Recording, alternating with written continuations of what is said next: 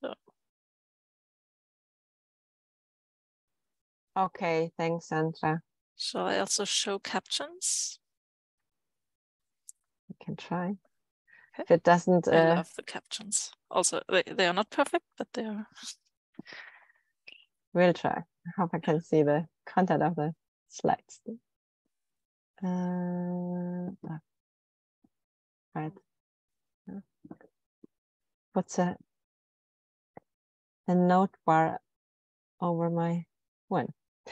Um, I will start slowly and hope um, some more people will still join. We also are still waiting for some of the authors actually who confirmed to join us today. Nadine is already here as one of our authors of the Global Public uh, Perspectives publication. And uh, so very warm wel welcome. I'm really happy to have you with us. And I hope some of your fellow writers are still going to join the room um, since we have questions to you. Uh, okay, so I thought to switch the slides now? Yeah, to very briefly go through what is COACT and how did the Global Perspectives uh, publication come about before, and, and why we did this.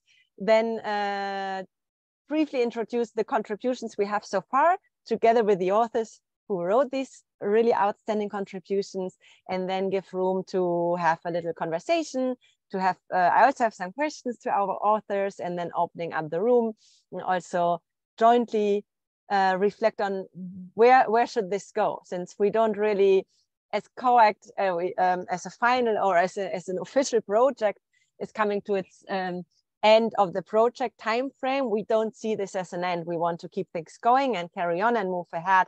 And so this is the same for this publication or this this project within the project. So that roughly what's going to happen now. Um, yeah most of you by right now know, so I go really fast through this. Uh, um, the global perspective, perspectives is uh, activity happening within the COACT project, which is in Horizon 2020 um, funded grant project, so European grant project, which um, the Global Innovation Gathering is part of as consortium member. We are a quite big number of uh, multi-stakeholder um, academic and non-academic, so academic and, and um, civil society organizations um, working together on this, which you all see here. Um, we bring together actors from Germany, Austria, Spain, and Argentina to work on three distinct topics. Well, four overall. We also have a, an, an, had an open call on gender equality, but our four departing topics were mental health care um, with groups of actors in, in Barcelona, Spain, youth employment uh, in Vienna, Austria, and environmental justice in Buenos Aires in Argentina. So the the goal of this um, Horizon project was to develop a citizen social science approach. So that meaning by doing so through these three what we call re research and innovation actions to explore and to document and to try out succeed and fail and take learnings from this on how citizen social science so meaning equal participation of citizen groups in research institutional research which doesn't need to be academic institutional though um, could look like. And yeah this is where I already come to how how did the global perspectives uh, pers um, publication come about. So as GIG of course what we strongly bring into COACT is our global network our global perspectives our very critical perspectives also on um, how how certain change mechanisms, be it in terms of research or development cooperation, is done in an inclusive, in a representative way, in a decolonial manner, etc. So where we were as we were working on on the research and innovation actions, developing this approach, we felt the need to also pose some crucial questions as to what do we have to account for if we really want to to um, act upon directly driven, uh, so participatory research co-designed and directly driven by citizen groups. And uh, this is where actually also during DOTS two years ago, we came up with a number of topics. Um, have to shift the and what we wanted is to capture voices from around the globe. So show, bring more diversity into the discussions we had within COACT. So different political, cultural, uh, infrastructural, economic, etc. contexts and um, unpack what that means uh, to actually develop such an approach and how also this looks like in practice. Um, and then, of course, um, ultimately um, resulting in uh, unpacking what uh, a citizen social science approach needs to account for in order to to be truly inclusive, to to act up on on on um, these claims of diversity. And we had five topics identified as kind of driving questions we thought that had to be addressed with more depth, which were these five here. And what we did is we started to have uh, each month dedicated to one topic. We hosted a hangout where everyone who wanted could join. Uh, it was were these were public events where we, discuss, we discussed and, and located, so to say, uh, each topic respectively. And then we had an open call for contributions. And this is uh, what resulted in, in uh, the, the blog post contributions of our, our, authors we want to celebrate today and thank everyone who took the time and their effort and their, their resources in that way to, to contribute with their local perspectives and also uh, showcasing their local practices and how certain things are actually possible. So thanks everyone so much. I don't know whom of you is in the room now. Maybe we can briefly all switch on the cameras and wave like everyone who, all our authors, I think we have, whom do we have here? We have Nadine, we have Julia, we have Jill, I think I saw before. We have Andrew. Hello, Andrew. I hope I was just scrolling up and down, didn't oversee anyone, but I, I will introduce you all now. So um, yeah, that's what we did. And we, I will briefly talk a bit about the five topics and introduce the different contributions because this is what we actually want to, to showcase today and to celebrate. So uh, locally driven protocols and local traditions in science.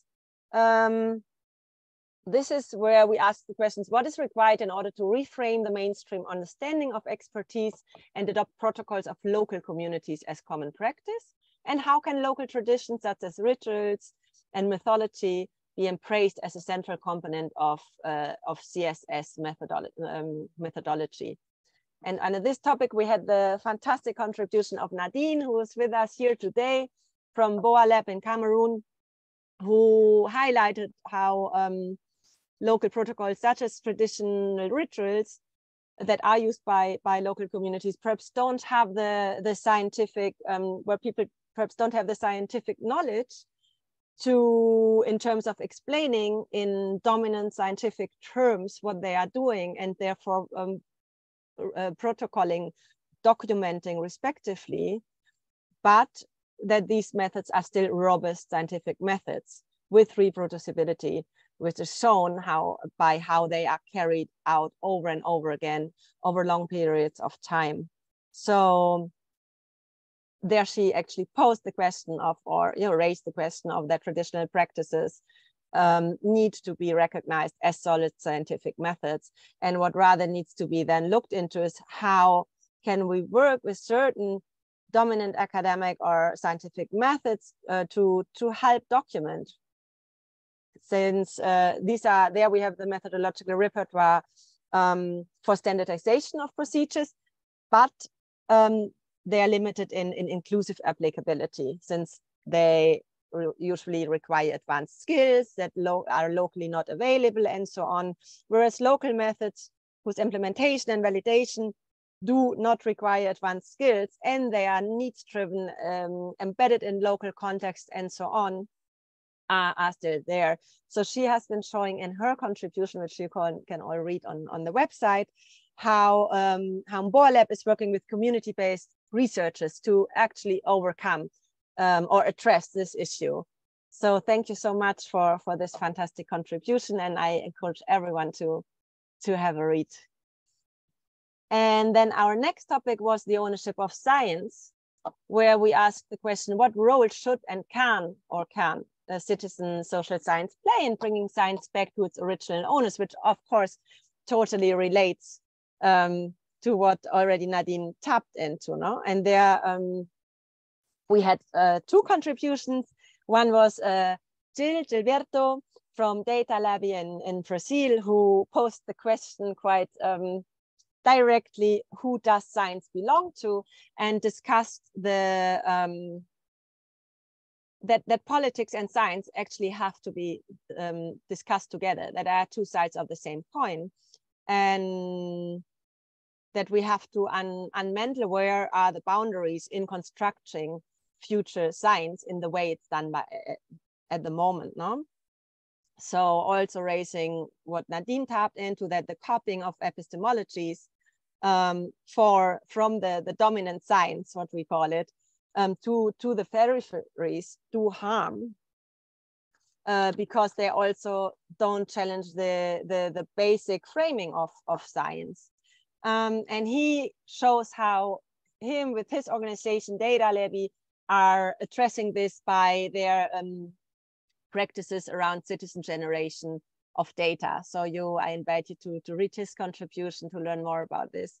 Um, and also uh, he highlighted the fact that this has not always been like this, but that the, the, the recognition and acknowledgement of local traditions, rituals, etc., have had a very different positioning prior to the, the arrival of Western science, basically, who has been undermining to a large extent these traditional practices and also in terms of standardizing and institutionalizing practices practices um, in those regards. So thanks so much, Jill. And yeah, uh, and your yeah, Jill's article is even available in in Portuguese and, and in English. So here we even have um, yeah, two options uh, for reading. And then Yine uh, from from Google's uh, ICT initiative in South Sudan um, I, am not sure if you're with us, Ina. So she also wrote on the ownership of science, um, providing us with a really practical insight, a direct insight in their local practices and how they are reactively addressing shortcomings in their direct environments. And she wrote about um, their activities in response to the lack of hand sanitizers in the beginning of um, COVID-19 and how they addressed this um, by using local scientific practices. So looking into how can they create a highly concentrated um, alcohol, which was needed as the base in order to to produce hand sanitizers and how they broke through across silos. So looking uh, out of the box into, into what other kind of groups or practices do require this and where can we learn from where we otherwise don't have access because the whole pharmaceutical environment is totally locked up. Finding support in, in uh, networks of female brewers in South Sudan, where the strong tradition is that, that female, uh, that, that women brew a certain type of alcohol and therefore have to produce the same kind of highly concentrated alcohol. So she wonderfully describes how this networking, learning from each other, building on this and challenging uh, and, and addressing challenges as they come along actually can be overcome. And what started in their case with some fast reaction to a necessity on the ground actually resulted in a fully labeled, documented, standardized, licensed product that they are now having and a full lab that they also were able to set up for the production, etc. So thank you so much, Tina, to demonstrate us how things are possible when when really growing from from the ground and from within from in need and looking into how things are locally already done also if not in our thematic sector so that was the second topic then decolonize, uh, decolonizing our educational and institutional influences and here we ask ourselves how can western and non-western scientists liberate themselves from western institutional instructions and here I want to thank Andrew so much. I think Andrew, you were our so far, we don't want to stop with this publication series, um, but only contributor who hadn't been like a core GIG member before. And Nadine, I think you invited Andrew, and thank you so much for this. Um, and Andrew shared with us uh, or discussed with us um, how the colonial heritage of educational systems actually affects educational systems in, in many um, countries and in his case in South Sudan today. Um, and showing us how where the system is changing very slow and no institutional mills are are very slow um, they are trying to to push change from within by in his case as a philosophy professor at the university of Juba, actually um, adjusting the curriculum from within meaning bringing in African philosophy, African philosophers into the curriculum in order to open up, um, open up the system or to broaden the system um, from within and, and until there's systematic change also um, happening. And he also advocates for um, where or if schools don't incorporate local perspectives and indigenous knowledge, or at least not at, at the pace that it would be needed, um, that independent formalization uh, should be available and remain an option always. So providing alternative spaces of learning, of teaching, of sharing knowledge, as we see in a lot of maker spaces, innovation spaces, innovation hubs around the world, also in the global innovation gathering community. Uh, so raising the flag of how, how these alternative educational environments are playing a very crucial role because of systemic change, often just not going at the pace that it has to. Thank you so much, Andrew, for, for this wonderful contribution as well. And then our fourth topic was overcoming failed representation in participatory processes, where we posed the question, what is required to fully open the black box of participatory um, of participatory of participation general, basically. And here we also had uh, two contributions. Thank you so much, Julia and Kahn. Julia um, Kleberg from Junge Tüftler in Germany, in Berlin. She um, um, shared with us how they work with, with schools um, using self-awareness as a tool for building empathy and facilitating change of perspectives. And they work with um, um, engaging like through experiential learning um, school classes into finding solutions, uh, developing solutions, ideas, and prototyping. And in this case, she uh, shared the example on how they have been working with school classes um, on finding solutions, inclusive solutions for persons with different types of disability to, um, to not face the barriers that that they face in in the day-to-day classroom environment and having um, peers so having other students pupils without um, without uh, any physical or motoric or, or so on limitations actually experience what it means if you cannot stand up or if you don't see etc um, and how how that uh, how that changes your experience and and so on so thank you so much for this. Um, advocating the power also of maker spaces and also showing how making can be brought directly into the classroom or into other environments. Um, and it's not necessarily a physical space outside of where change is supposed or encouraged to happen. And then thanks so much for Khan from the Canadian Community-Based Research Network, who shared with us their account of how they have been trying through conversation cycles in certain direct neighborhoods um, to shift research agendas. So moving and, and to move closer to the neighborhoods where, where they work with. So they have been trying out to engage um, everyday citizens into not only the identification of topics that are relevant to them, but also bringing certain topics mm, closer to them and engaging them into the discussion in exploration um, around this. So thank you so much. We have another post in the making for our final topic, which is uh, ethical standard setting in open citizen social science communities, where we have posed the questions, what is required in order to establish and follow ethical standards and enact deriving protocols. Oh, I have a typo here, sorry for this, in open citizen social science processes. So for this one, but also for all the others, we still encourage contribution. We want to hear what you are doing in your direct communities. Uh, and we also want to hear uh, your uh, general reflections, philosophical, sociological, political, whatever drives you and moves you when thinking about these topics. We would love to, to hear um, yeah, your takes on this from your very specific context.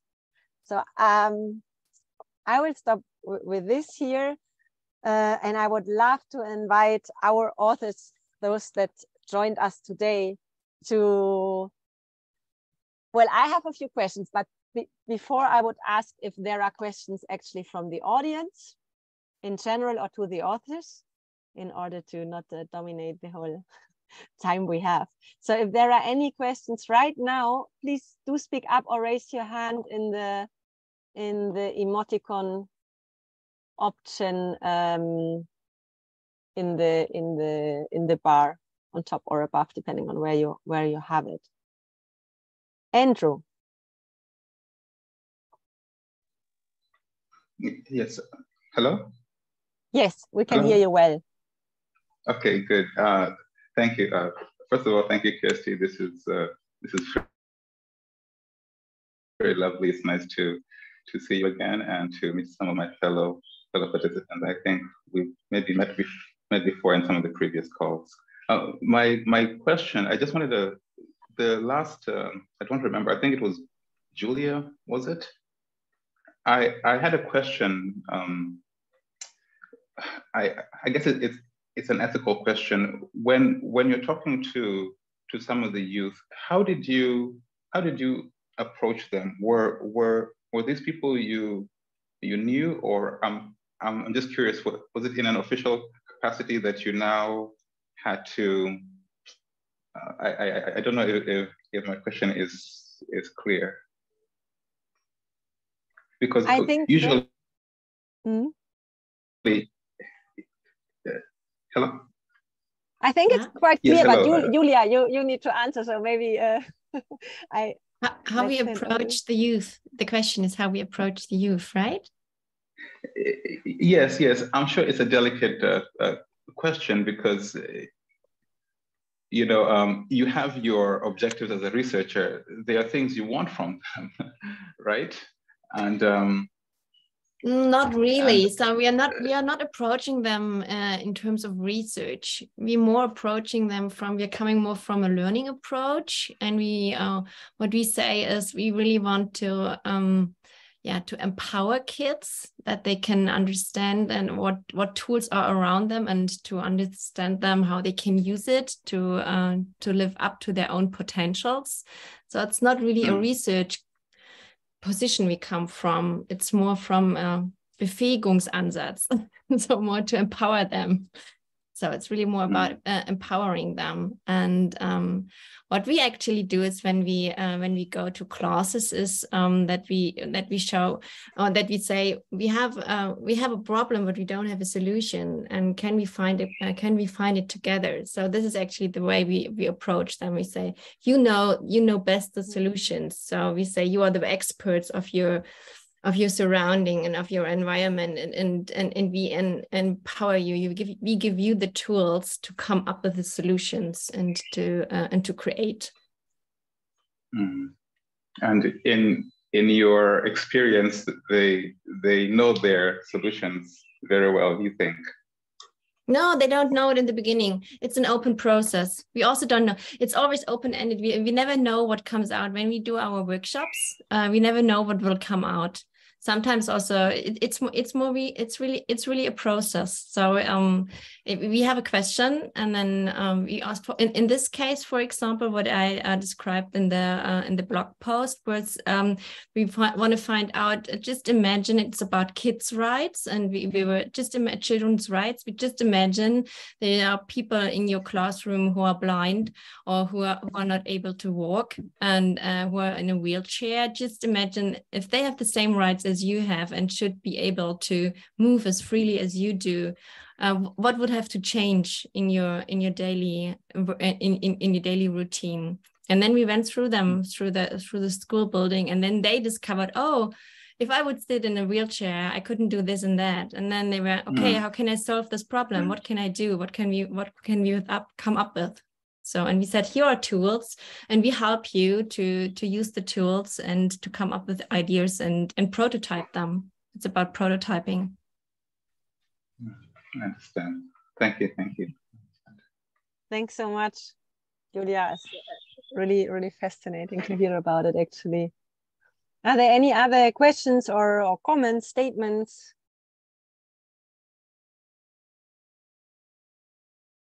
Curiosities?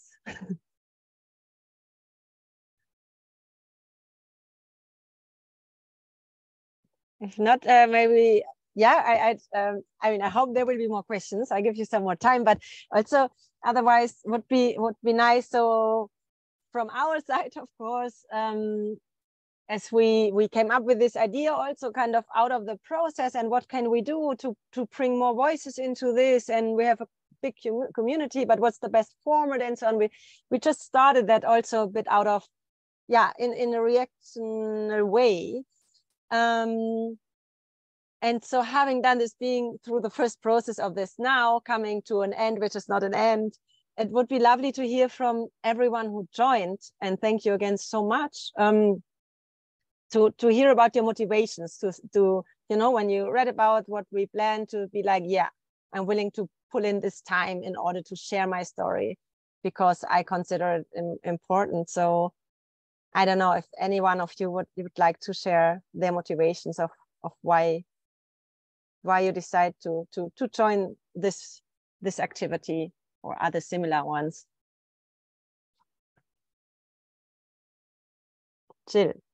And you were also our first author who jumped right into the boat so you were the, it would be nice to, to hear um, yes um, I don't have too much to say, but just to contribute here, maybe I'm so uh, happy with the these results and so glad to be, have been participate on that. So thank you for for all work and the invitation and everything. But what makes me engage on this since the beginning beginning um, of the idea of the COACT project is the uh, is the the idea of the science as an environment are in dispute you know so and it's important to and, and it's it's an unfair dispute you know the the force and the power when we think about what is uh, established at as knowledge and as social science uh,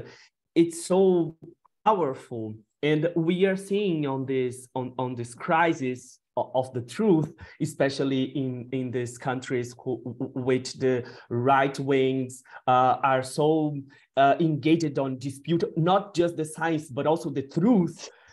It's super important that we could have some space to talk about other kind of experiences that is very very close to to um, to what we what you think about the the life the daily life the world the politicians the the the cultures of of our of our countries and and and, and people. So what i mean is um, for me it's super important to talk about science as another way, maybe a little out of the academic space, but also in there to try to understand how can we put these two things that for me have been never could be aparted together again, you know? And I mean yeah. society, really society, community practices, and and this academic field that became so far away from the daily culture of people. So for me, it's the thing that most makes me more uh, engaged and happy on bring people to write stories or or write my own stories about how can we dispute science on this time. So thank you so much. Yeah, and we were yeah, really thanks again for your contribution and and even this also showing like bringing up the, the political discussion, but then also showing hands-on it actually exists. Like this is what we do every day. So it's not that this is something unreachable far out there that we have to somehow get to, but how no how stories uh, stories how structurally practices of this kind exist on a day-to-day base in so many places or in communities. So thanks so much. Anyone else who would like to, to share what made them um, spare their time for valuable time for us and share their stories for this publication. Hey, hi. Um, I'd just like to share a little bit of my motivation and some um, reflections or questions I've also realized after participating in this whole project. So um, for me, my main um, motivation for the COACT project was the whole idea of um, trying to contextualize science, like how can we make science more accessible?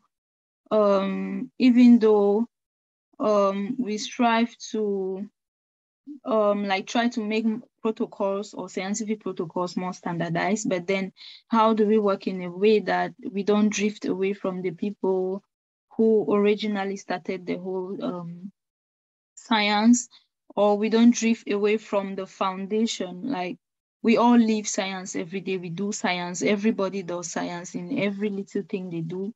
So how do we now modernize it in a way that um, we are still able to let everyone participate in what they do?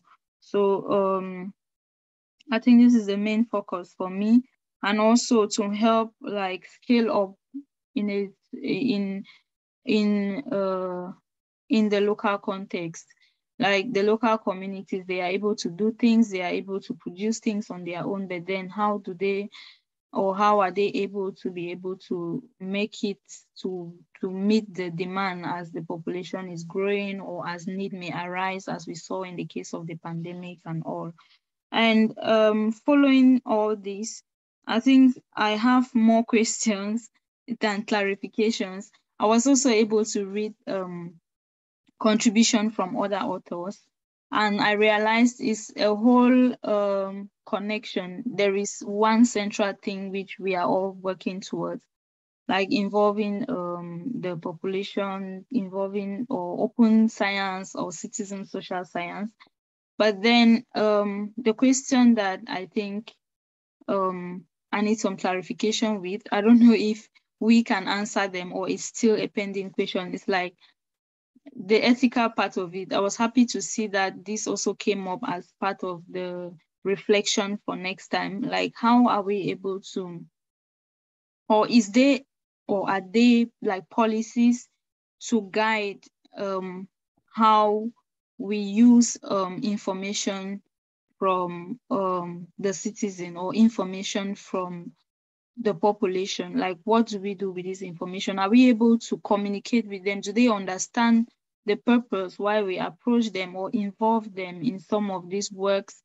And are they comfortable? Do they are they able to have feedback on how this information is used, especially if um, it has to do with some very personal or um, traditional or ritual kind of information. And um, Another need that I think um, it's important we focus on is how we are able to measure the impacts we get from all of this work or research. Like, are we able to go back and see how much um, change we are making? Or um, will it just end at our levels? Are we just comfortable talking about them, knowing that this is what is supposed to be done? Knowing that this is what has been done already, or are we able to focus on some gaps that um, we are, we still need to be able to fill? Thanks, yeah, Nadine. Think, um, mm-hmm. That's it. Mm -hmm. Thank you. Thanks a lot. Yeah, you're raising super central points, of course, um, and a lot of them that are not focusing more on the overall project. Um, points that yeah that are under discussion and also we, had two weeks ago or so uh, our final what we called final event with the with the panel discussion where Jill was also taking part, where uh, our research and innovation actors, so the consortium partners actually doing the citizen engaged research, have been sharing their learnings and that also addressed a lot of these aspects, no? So, um, or also our, our respondents like Jill and, and other people from our community actually raised these issues as well, no? What's in there for us? Like there are all the time, no? Always researchers coming in, you know, in different uh, levels and engaging communities uh, to, to diff different extents. But if we really pin it down, what is in there for us? What do we get out of this? What does really feedback? And how far do we come in with something that is actually really needed, etc.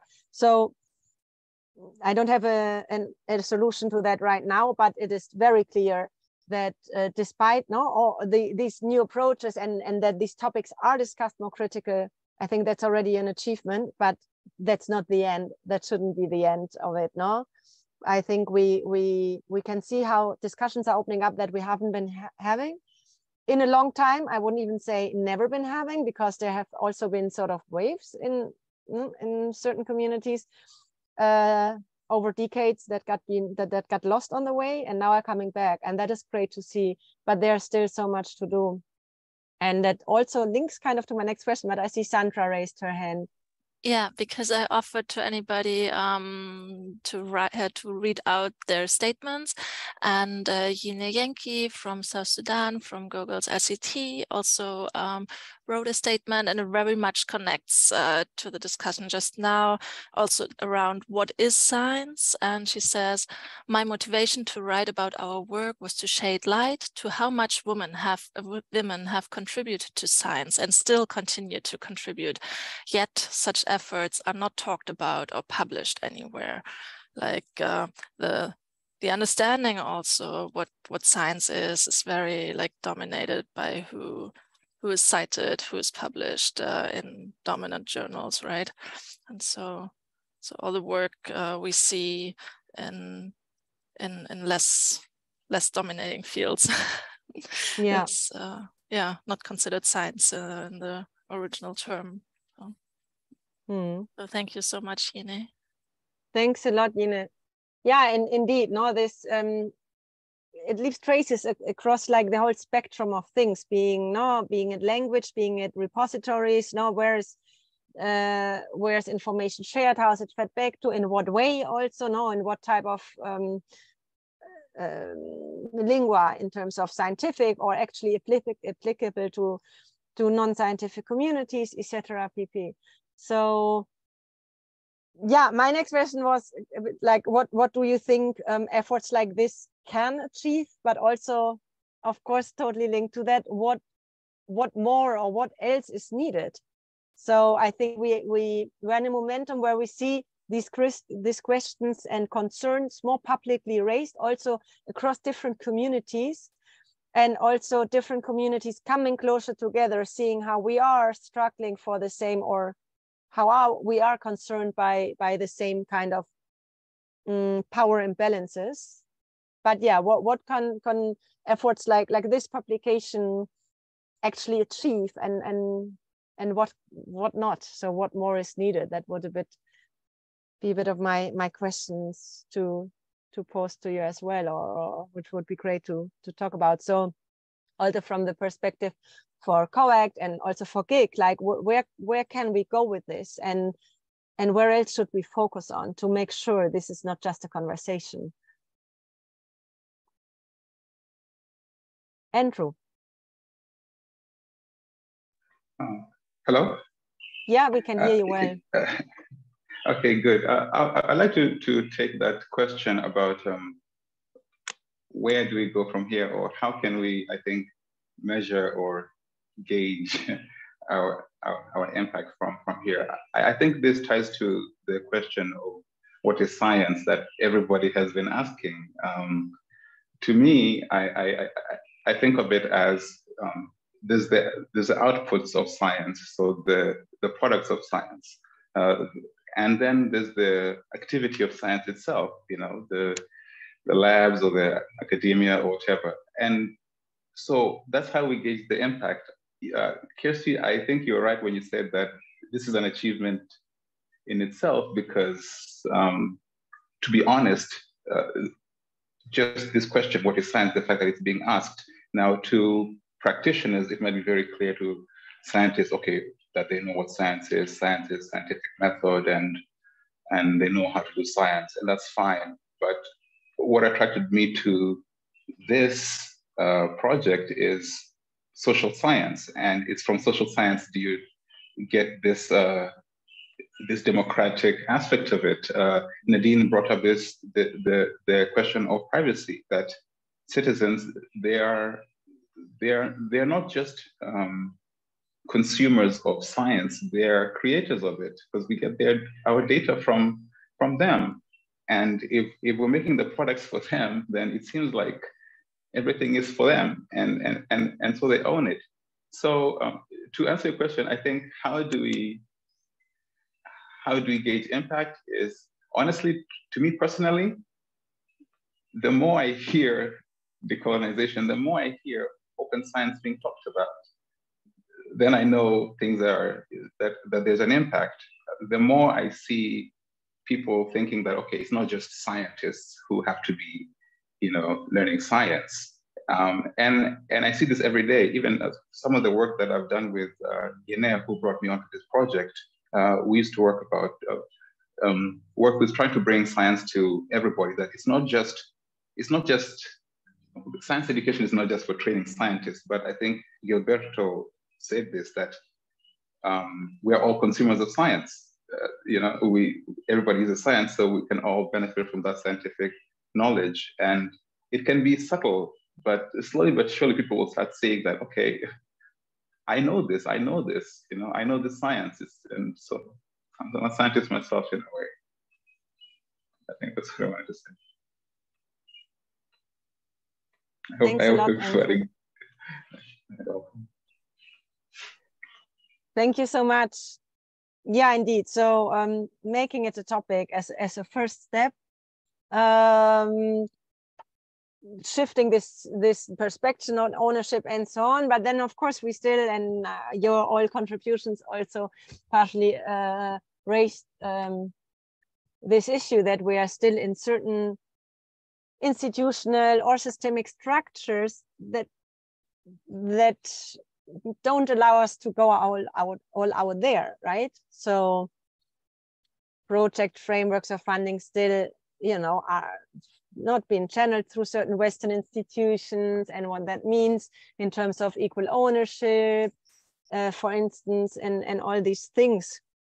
So maybe someone else also wants to to share their their opinions on yeah not to till what uh, extent these kind of activities can bring added value but um, yeah what what else is concretely needed? So we can make sure that also structurally on a longer term this leads to leads to actually implemented change that supports all the kind of activities and organizational types and dynamics that you guys all actually already show that it's possible to practice them not in your specific in in your respective contexts.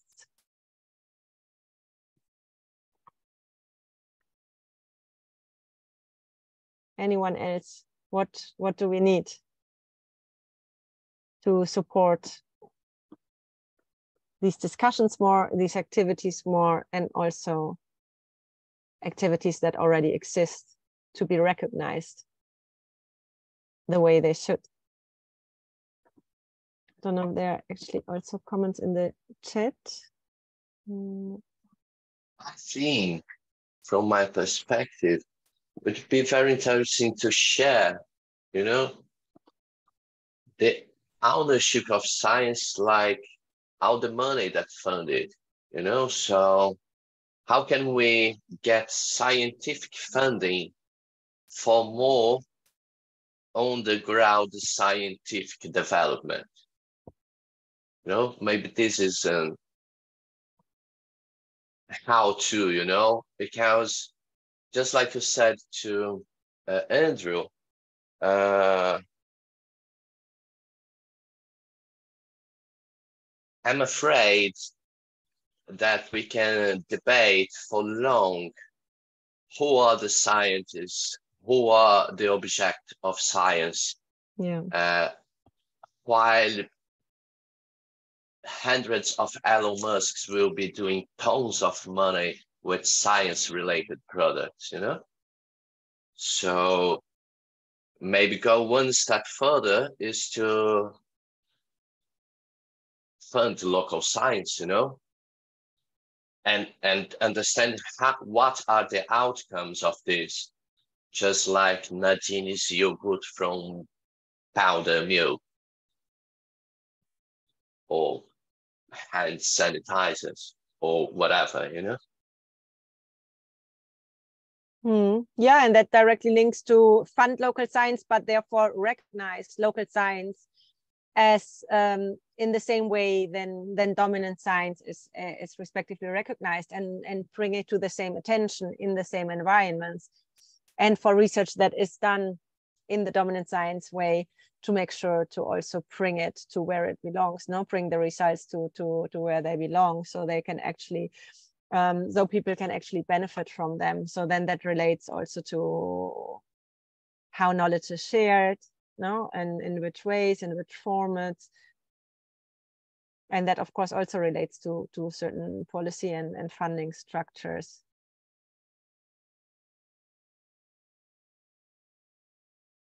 Perhaps I don't know, Jill or anyone else can maybe yes. you can can you share about how yeah how you yes. do this in, in your yes it's, it's hard to me uh, to talk about um, um, uh, perspectives because um, and i i used to be totally agree with ricardo about funding and about support for for for make this kind of work here because i don't know if you know but we passed through a moment here in brazil because um, uh, two weeks ago a million of researchers from different, uh, for all the, the, the, universities of the country had no, uh, uh, there's no, no fellowship money of the month because the government simply said, we don't have any money for science anymore, for any science, any kind of science that the, the fellowship that the researchers, million of researchers in the country received. It's not too much money, uh, but yes, we passed like uh, 10 days in super tense way because we didn't had our fellowship money, our public fellowship money that we as researcher we received. So imagine there's no mm. there's there's even the the minimum for for make the traditional research. Imagine if we you know, uh, um, proposing uh, other kinds of uh, uh, models and and more diversity to the to the structures of science that is already um, uh, um, structured. So what I mean is, yes, we need cooperation. You know, I think we need cooperation, especially international cooperation.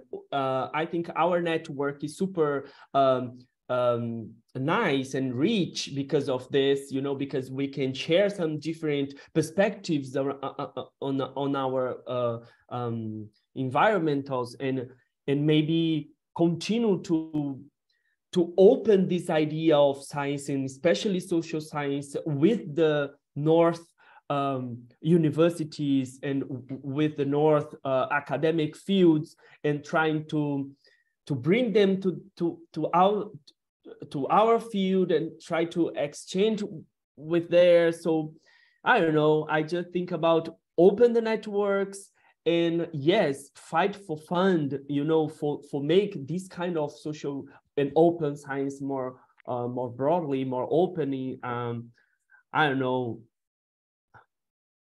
Just left ideas, but yes. Yeah, yeah. Thanks a lot.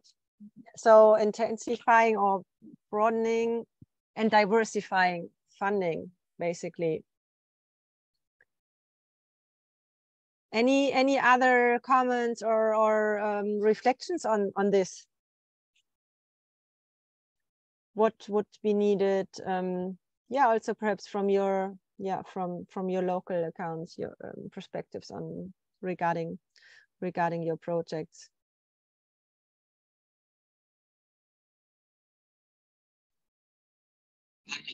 Deliver access, you know, not only the access, but how to deliver the access. But because it's such a bubble, you know, or such hundreds of small bubbles.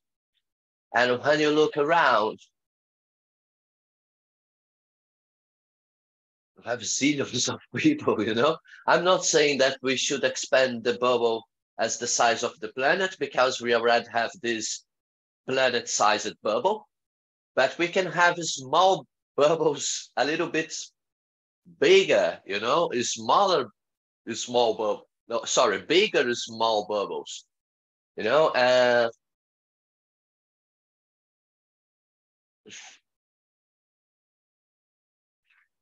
uh, uh, twisted you know twisted to research it's out fashion uh, the young generation and a lot of people in the global south uh, they are more into uh, build their, their shop for car accessories and get a minimum wage a little bit higher than something and think that they are already rich because they can use that kind of things on the video clips they saw on YouTube. You know? So when I see in my reality, Twisted is out of date, you know? It's something from the past. People really are not engaged into this it's it's not attractive you know and this is very worrying you a lot of people know the political situation in brazil you know and that's the main reason yeah. We are discussing science and what people do in the field and if this is science or not. Basic education levels are horrible in most of the global south. And then the fundamental level, most of the times is even worse. And when you reach to somewhere, you know, and then you have what people call degrees, like bachelors or whatever, uh, it's it's a mixture of running for money and running for life and almost no one is running to understand. You know, it's so we are in a tricky situation. Yeah. You know? Uh, I mean, maybe for the for the sake of time. Yeah, Andrew has the hand. Sorry, because yeah. Yeah, yeah. Maybe briefly. I mean, of course, like uh, um, we have we have bigger and more fundamental structural problems in terms of what political disenchantment and, and also probably knowledge related educational disenchantment, I guess, uh, has been happened always and across very different uh, environments. Um, and we're probably not gonna solve everything, but um, if I translate this into making knowledge creation and knowledge sharing more applicable, applicable to specific target groups or um, let me call it stakeholder groups, not target, since we talk about engagement actually, I think we we are on a on a meaningful track. And then within our direct environment on, on which we are trying to solve, um, diversifying and and yeah, also making what we do, translating what we do into the context and and language in terms of no um, also of ways of talking about things for more uh, for a bigger diversity of groups is is perhaps a step like within the process of maybe this is something to to share as well eh, of um, creating noise around the publication and, and and engaging people.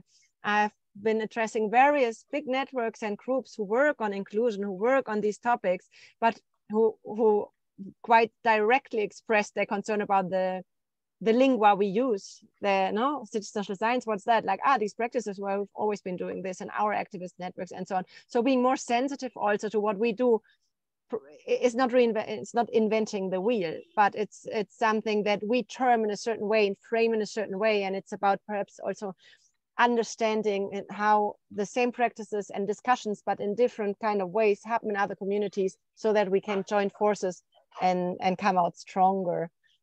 And I leave it to this and hand over to Andrew. And then there's also Sandra who raised uh, her hand. uh, uh, uh, thank you. I'll I'll be very quick. You actually said what I wanted to say, mostly about Sorry. Uh, framing, about um, how we make it. Uh, how did you say it?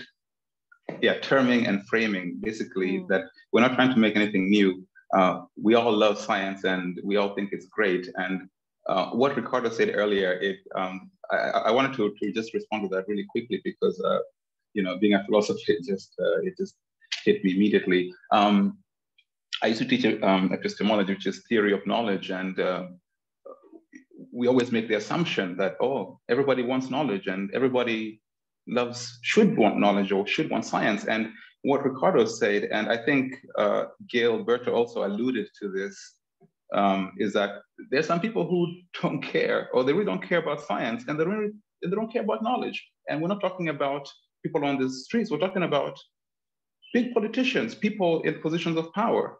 And so, what do we do? What do we do? Um, I think our problem remains the same. How do we make knowledge more attractive? Um, there's something um, Socrates used to say is that it's not so much uh, what are the conditions for knowledge, but what kind of person is it that wants knowledge? You know, it, it, it's about and and I guess cultivating that maybe that goes beyond science. It, it's just you know culture, I suppose now. Um, okay, just one last thing to respond to what Gail said about the funding issue. I know that's in the background, and and and and you can't ignore that. Um, what what in my own experience, and Ine can testify this uh, to this because she and I work on a lot of similar projects. Is okay, we're getting funding from outside because we can't fund it ourselves, but um, before that comes, we have done a lot ourselves. We have done a lot on ourselves. And that's the beginning that we show that, okay, if we could have done this much by ourselves, surely anybody can do this much by themselves. And, you know, now it's about getting help and we all need a little help and, and that's okay too. okay, Thank you so there. much, Andrew. Thanks a lot. We have a minute left, Sandra. I will. Yes, I raised my hand to remind you of taking the selfie because you asked me to. Oh, yeah. Because it would be amazing to switch off everybody's, uh, switch on everybody's camera so we can actually take a screenshot. Maybe also, Kirsty, it's a good time to uh, switch off the screen sharing. Um, Here we go. And switch off my raising my hand You can have any other you can have any other like things in your hands or any other re reaction emojis that you like. So Gine, if it's possible, and Julia and Anna um, to switch on your cameras for the selfie or for the thing. We can also hide the caption for this.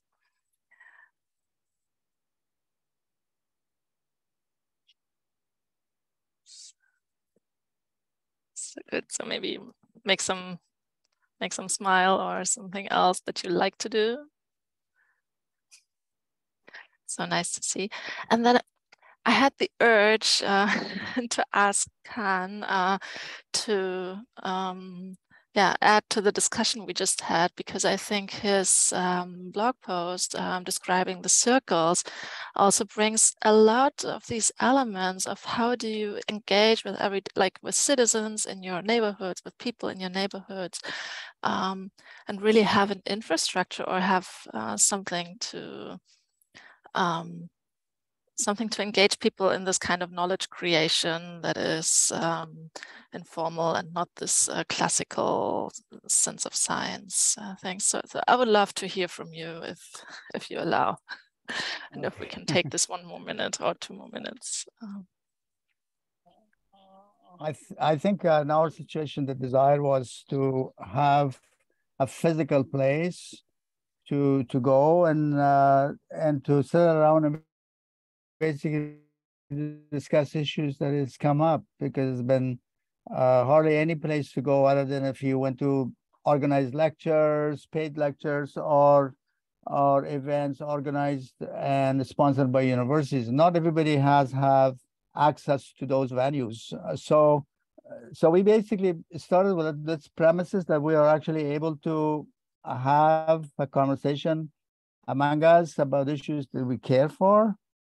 And also that will be engaging in creating knowledge.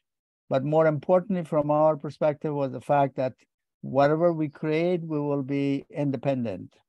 And this was a big challenge because most of the time uh, you engage into into some funding, some sort of a funding formulation, and you get funded. You could do a project, you could do proposals, blah blah, all the stuff you do, and then um, and then in the end, actually, you lose that because um, you have to streamline the knowledge making process into a formula, which is uh, basically designed uh, by the by the funding. So we chose not to seek any funding. In fact, it's quite it was quite interesting as we as we moved on to this conversation circles, bringing people around different issues. I've been approached by several funders to um, to fund us to give us money, and we actually rejected that. We said no, we do not want any funding uh, because they uh, again there's a whole question on uh, the notion of independence.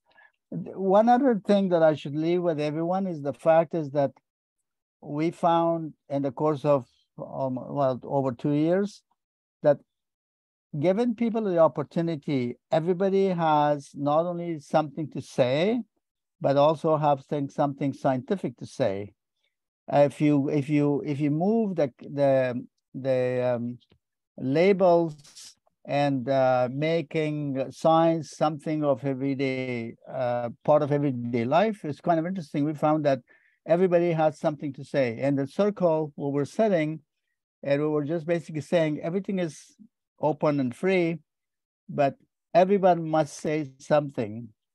Doesn't matter what it is, but you should say something. Should not leave the room without saying something. And it was quite remarkable how much people had to say when they had the opportunity to say so, as opposed to your typical discussions where there are four or five people dominate the discussion and you go back and forth, back and forth and the rest of the people become audience. We eliminated audience in that sense because everybody was actually generally participant. And uh, what we call the conversation starters or people who started the conversation, they could only talk for 20 minutes, share their knowledge, and then after that, they were part of the part, part of the group. Thanks a lot, Khan.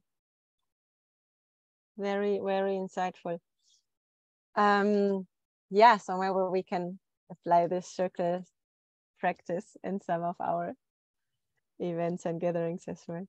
Uh, for the sake of time, I would like to not cut off this conversation. I would actually really love to find ways to carry on these conversations that we had the honor to the the space to to develop and to to to have over the last three weeks, three years or two of COACT and also to encourage everyone to invite more people to join these contributions. Um, we, we will certainly look into finding ways on how we can keep this going and also do something with all these contributions that we gather so that they become the platform they deserve and are heard and read and seen by by uh, more people and um, and also different kind of stakeholders, be it from academia, be it from uh, from policy or else.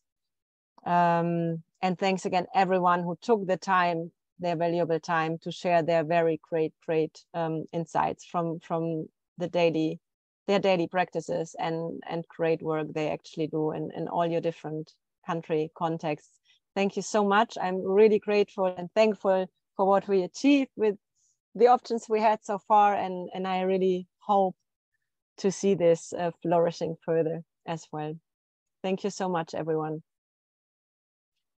You'll hear from us. Thank you. Yeah, Sandra posted the, the newsletter link so you can subscribe also in the in the chat. Will will we stay here for for the Pilates session and for the next session, or will we change the room? We stay in this room. Oh, and, uh, amazing. Uh, so feel free to stay in the room, the room as well.